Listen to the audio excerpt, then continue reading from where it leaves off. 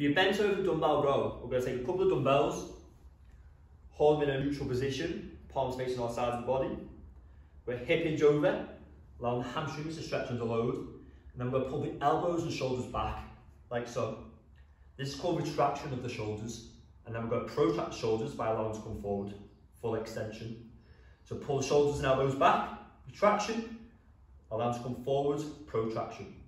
So pull them back, this is working the muscles under contraction, and we're going to stretch them here, the essential part of the lift, stretching the muscles under load, okay? So, retraction, protraction, retraction, protraction, contraction of the muscles, and then lengthening of the muscles, contraction, lengthening. Last couple, squeezing the shoulder blades together, one more, Slowly down safely, and relax.